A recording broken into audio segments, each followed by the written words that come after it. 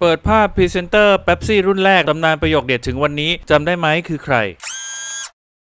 พระเอกรุ่นใหญ่ในวันนี้นะครับยังมีผลงานให้ได้ชม และยังเป็นเบอร์ต้นๆของวงการบันเทิง นั่นก็คือพี่นกฉัตรชัยเปล่งพานิชนะฮะ ปัจจุบันอายุเข้าเลข 6 ไปแล้วนะครับ แต่ต้องบอกว่าความหล่อยังคงปรากฏให้เห็นเหมือนเดิม แต่เพิ่มเติมคือเด็กรุ่นใหม่ๆ ยังคงรู้จัก และเรียกว่าพี่นกยังเป็นขวัญใจของแฟนคลับ และนักแสดงรุ่นน้อง ย้อนไปเมื่อ 40 ปีก่อนนะครับ ผลงานของพี่นกฉัตรชัย ทั้งภาพยนตร์ทั้งละครรวมแล้วกว่า 100 เรื่อง และโด่งดังเกือบทุกเรื่องจริงๆนะครับ โดยเฉพาะบทบาทของตี๋ใหญ่ที่เป็นภาพจำจนถึงปัจจุบันเด็กวัยรุ่นยุค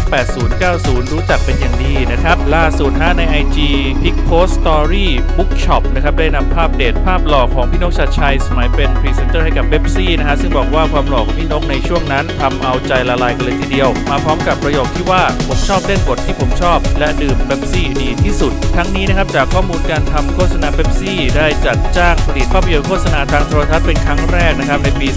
2525 จนถึงปัจจุบันนะครับโดยมีนักแสดงนักร้องชื่อดังจำนวนมาก เคยเป็นพรีเซนเตอร์ให้กับเป๊ปซี่นะฮะเช่นพี่นกสินจัยพี่นกฉัตรชัย พี่ปูอัญชลี วงเฉลียง พีททองเจือประกรณ์ลำบอดี้สแลมเป็นต้นนะครับขอบคุณข้อมูลดีๆจากสนุด .com และขอบคุณเพื่อนผู้ติดตามด้วยนะฮะ ฝากกดไลค์กดแชร์กด subscribe ให้พีนิวส์ด้วยนะครับ แล้วเจอกันใหม่ในคลิปหน้าสวันนี้ไปแล้วครับ สวัสดีครับ